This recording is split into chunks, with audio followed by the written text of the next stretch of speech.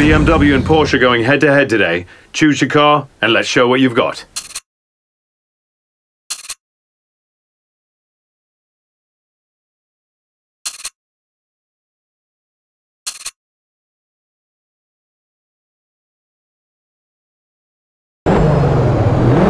Right, couple seconds to green. Remember, just get ahead of him by five seconds across the line first for the win, okay?